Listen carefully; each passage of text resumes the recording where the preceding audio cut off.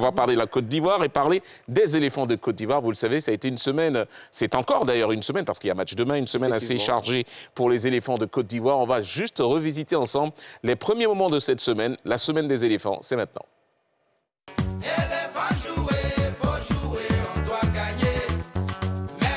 Qualifiée en tant que pays organisateur, la Côte d'Ivoire continue de fourbir ses armes. À 89 jours de la 34e Coupe d'Afrique des Nations, Jean-Louis Gasset a des certitudes par rapport à son groupe, mais les jours qui nous séparent du début de la compétition et la trêve internationale sont des occasions qui s'offrent à lui pour affiner davantage sa stratégie. Pour cette autre fenêtre FIFA, la Côte d'Ivoire a choisi de se mesurer à deux gros calibres du continent, le Maroc et l'Afrique du Sud. Pour le sélectionneur national, c'est encore une occasion de voir son groupe à l'œuvre face à des adversaires de niveau plus élevé. Pendant une semaine, les éléphants ont préparé ces deux rendez-vous.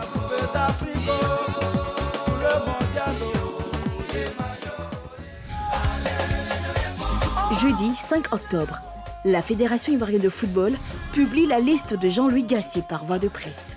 Cette fois-ci, pas de conférence de presse.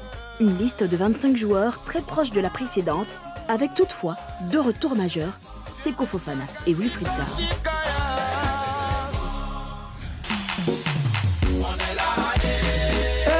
Lundi 9 octobre, le gros du contingent des internationaux arrive à l'hôtel des éléphants. La joie des retrouvailles est perspectible sur les visages.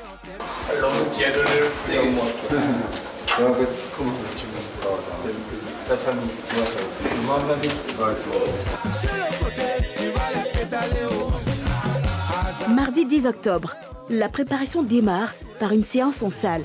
Ici, le physique et les muscles sont mis à contribution.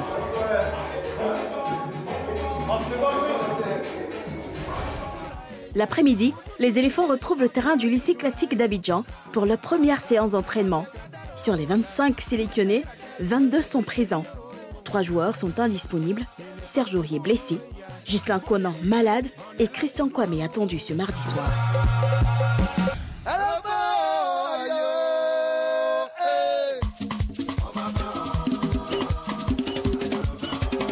Jeudi 12 octobre, nouvelle journée de préparation pour la sélection ivoirienne.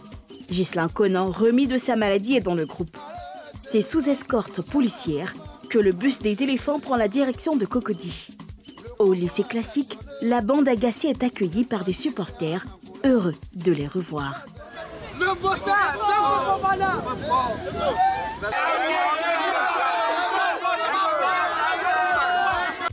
C'est dans la joie, la bonne humeur et dans la prière que les éléphants effectuent cette autre séance d'entraînement.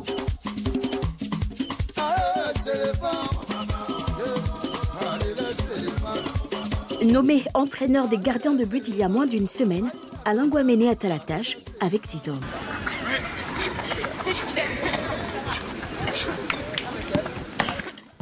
Oui, ça je suis d'accord. Hein, là je suis d'accord.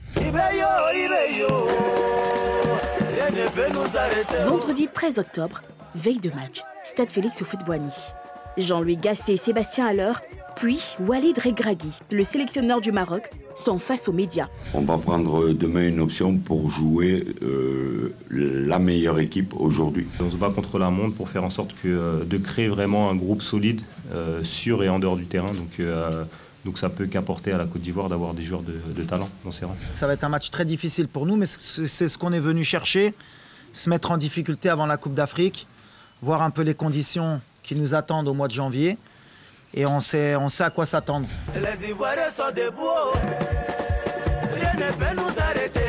Après la conférence de presse, les deux équipes foulent, chacune son tour, la pelouse du nouveau stade, Félus Boigny.